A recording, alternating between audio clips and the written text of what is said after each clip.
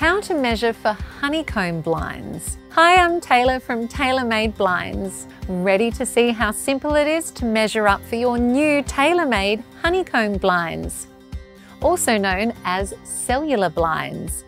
Well, we're here to show you how. You may already have one of our how to measure cards ready to write your measurements on, but if you don't, you can print one off of our website or you can use a notepad.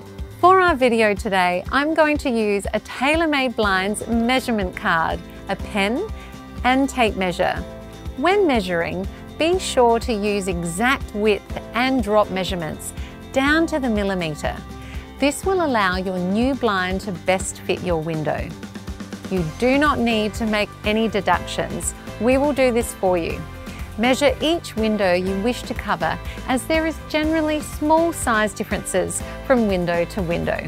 First, decide where you are going to install your tailor-made roller blind. You have two options.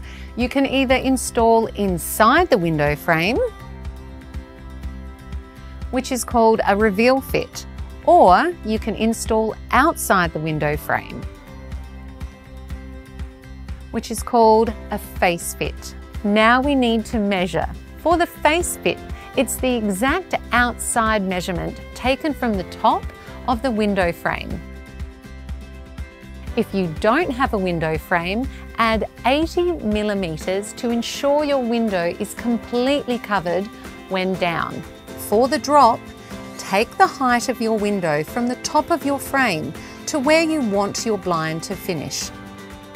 Now for the reveal fit. Firstly, make sure you have at least 50 millimetres of depth in your reveal to ensure your new blind will sit neatly inside the window frame. When measuring for a reveal fit, it's important that we make sure the blind will fit inside your window frame, so we need to check how square your frame is.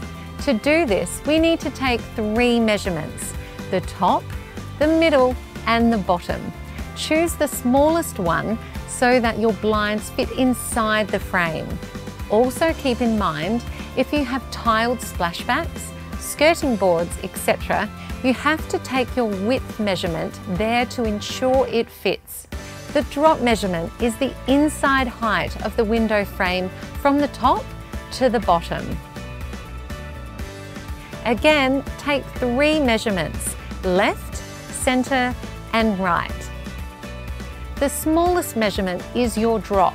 Be sure to use exact height and width measurements down to the millimetre.